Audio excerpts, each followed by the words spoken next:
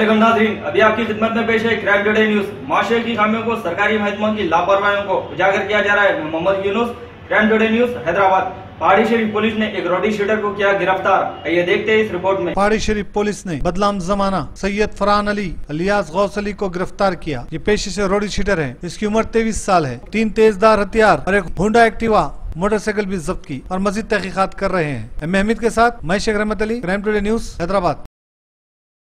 Yesterday आठ तारीख को about evening hours seventeen thirty hours को uh, हमारा S and staff vehicle checking कर रहे थे इधर पहाड़ी शरीफ में। उस टाइम पे एक एक्टिवा गाड़ी पे एक आदमी आया अंडर सस्पिशियस सर्कमस्टेंसेस गाड़ी रोक के हम पूरा उसको चेक करें।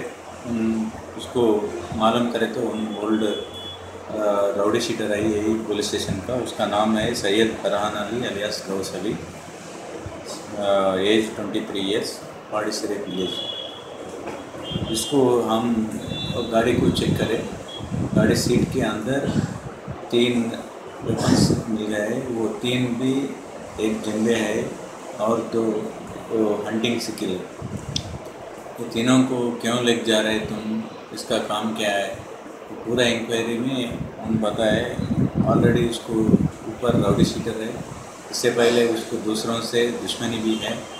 किस किस से उन लिया किससे वो एक मर्डर केस भी है उसके ऊपर। उसके वजह से उसको कोई मारेगा बोल के उन, कोई आए तो डराना।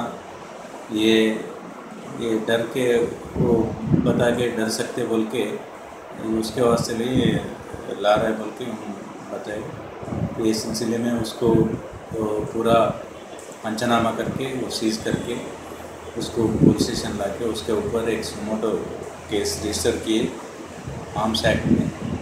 उसको कल शाम को अरेस्ट करके आज कोर्ट में उसको प्रोड्यूस करें। ये कोई भी इंफॉर्मेशन है तो पब्लिक को अपील अपील कर रहे हैं। तो कोई भी इंफॉर्मेशन ऐसा आदमी किसी को कोई डरा रहे हैं तो किसी को कोई एक्सटार्शन कर रहे किसी को कोई जुल्म कर रहे। ऐसा चीज़ है तो इमीडिएटली पुलिस को इन्फॉर्म करना। ऐसा चीज़ों को कोई भी छोटी चीज़ को भी एंटरटेन नहीं करते। ये आ, अभी कोई है तो भी एवरी राउडी शीटर को भी एवरी वन मंथ को दो बार इधर वो अटेंडेंस लगाए हुए हैं। और उसके ऊपर सर्वेलेंस भी है। किसी को भी वो डरना कुछ ये ज़रूरत नहीं है। छोटा इन्फॉर्मेशन है तो भी पुलिस को इन्फॉर्म करना है। सच की तलाश का नाम क्राइम टुडे न्यूज़ मुझे दीजिए इजाज़त। अल्लाह हाफिज़।